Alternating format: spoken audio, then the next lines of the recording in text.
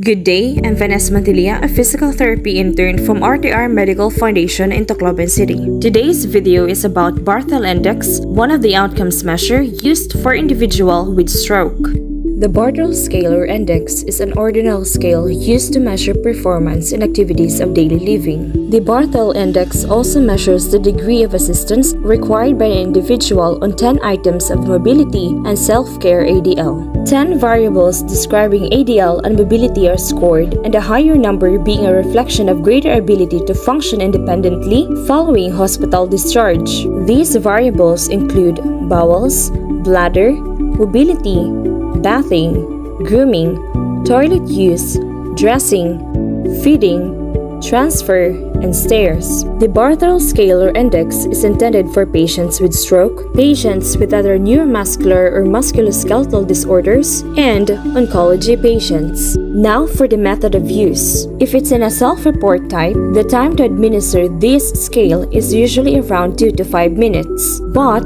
if it's through a direct observation, usually this runs around 20 minutes and times may vary depending on client's tolerance and abilities. Now for the scoring. These are the proposed guidelines. A score of 0 to 20 indicates total dependency. A score of 21 to 60 indicates severe dependency. A score of 61 to 90 indicates moderate dependency. And a score of 91 to 99 indicates slight dependency.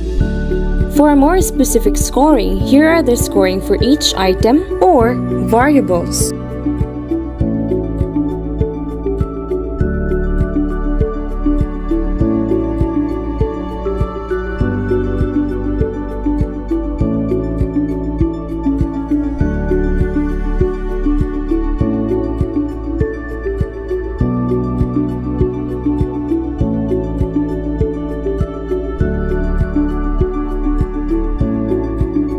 That's it for today's video. Thank you for listening.